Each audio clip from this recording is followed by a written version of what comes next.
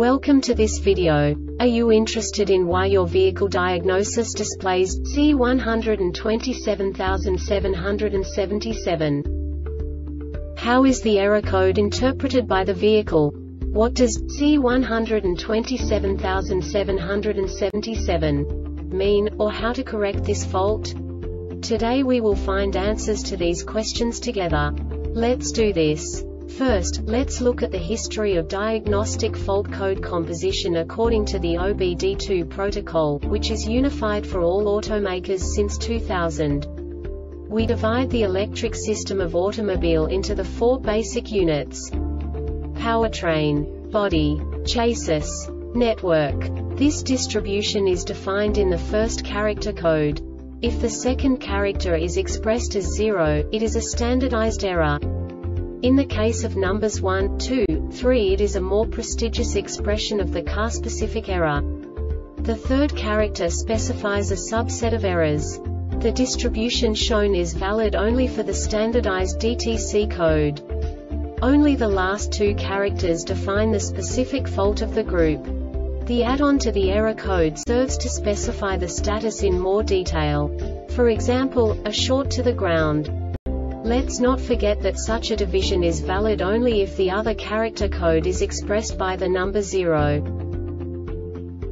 Our website airbagreset.sk produces useful videos for you. You do not have to go through the OBD2 protocol anymore to know how to troubleshoot any car breakdown you will find all the diagnostic codes that can be diagnosed in a Scion vehicles. Also many other useful things. The following demonstration will help you look into the world of software for car control units. You unbelievably can move the video a bit further. The error code is split into two bytes consisting of 16 bits. One bit is the basic unit that each computer works with. The bit has two logical states. 0, low level, 1, high level. By combining the first two bits, the basic character of the error code is expressed. The next two bits again determine the second character.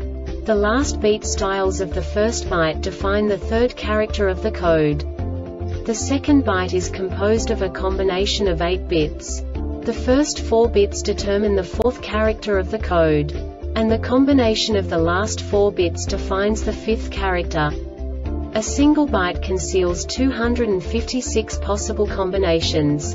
We now know in what way the diagnostic tool translates the received information into a more comprehensible format. The number itself does not make sense to us if we cannot assign information about it to what it actually expresses.